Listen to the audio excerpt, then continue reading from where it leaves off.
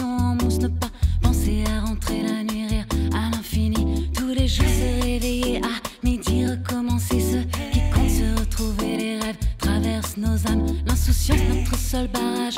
Au vague à l'âme, peut-être un jour devenir une femme à la hauteur d'une mère, d'une dame. Ne jamais réfléchir qu'un jour on va mourir, tourner en rond pour s'étourdir sans avoir envie de se mentir.